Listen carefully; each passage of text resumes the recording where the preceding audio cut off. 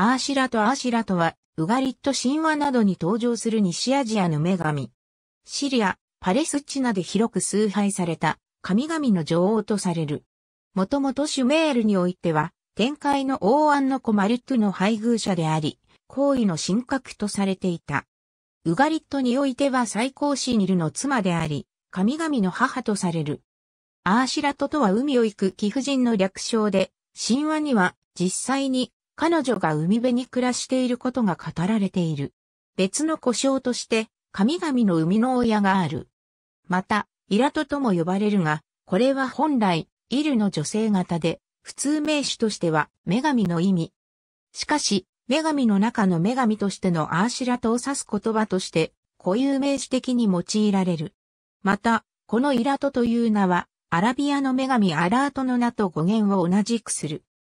官能的快楽の女主人というバビロニア的呼び名は、アシュラトのエロティックな性格を暗示しており、これは、ある程度うがりと神話の中で表現され、彼女の性的欲望は現在ヒッタイト語のものが残っているエルクニル社物語の主要テーマである。旧約聖書にも異教の偶像神として登場し、ヘブライ語系アシェラの名で現れる。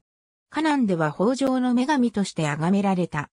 ヘブライ人たちは当初この女神を敵視したが、カナンの地に入植すると自らも崇め始め、聖なる高台と呼ばれるカナン式の礼拝所で祀った。なぜヘブライ人たちがこの女神を敵視したかというと、アシェラ祭儀が北条祈願にかこつけた売春行為に結びつくなどの側面を持っていたからである。ケレト王がウドムの姫フルリアとの結婚式で挙げた祝宴に一人だけ招かれなかったアーシラとはこれを恨み、フルリアに対して自分への供物を要求する。それでも飽き足らず、ケレトを病気にして、彼の国土に飢饉を送り込んだ。彼女は森林地帯では枝を落としてまっすぐにした常緑樹をよりしろとして祀られていた。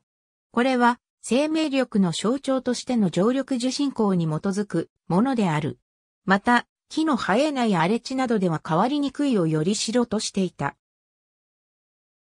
神の文化史辞典、白水社、2013年、32ページより引用、AB 図説、古代オリエント辞典、大英博物館版、ビングカウフスキー、ピョートル、ミラード、アラン・ラルフ、池田、豊、1940、山田、茂雄、1959、池田、淳、1961、山田、恵子、1956ユダヤ市、豊少林、ISBN 48億8721万6394億区6億7493万1925 https コロンスラッシュスラッシュ www.worldcat.org スラッシュ OCLC スラッシュ674931925ありがとうございます。